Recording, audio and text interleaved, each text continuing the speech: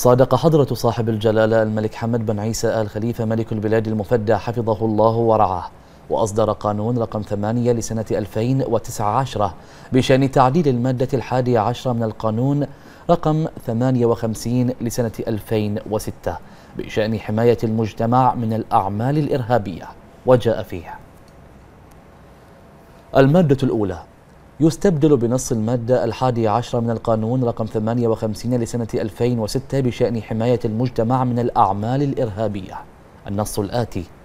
المادة الحادية عشرة يعاقب بالسجن مدة لا تزيد على خمس سنوات وبالغرامة التي لا تقل عن ألفي دينار ولا تزيد على خمسة آلاف دينار. كل من قام بأية وسيلة بالترويج أو التمجيد أو التعظيم أو التبرير أو التحبيب أو التشجيع لأعمال تشكل نشاطا إرهابيا معاقبا عليه سواء كان ذلك داخل المملكة أو خارجها. ويعاقب بالسجن مدة لا تزيد على خمس سنوات كل من حاز أو أحرز بالذات أو بالواسطة محررا يتضمن أيا من الأفعال المنصوص عليها في الفقرة السابقة.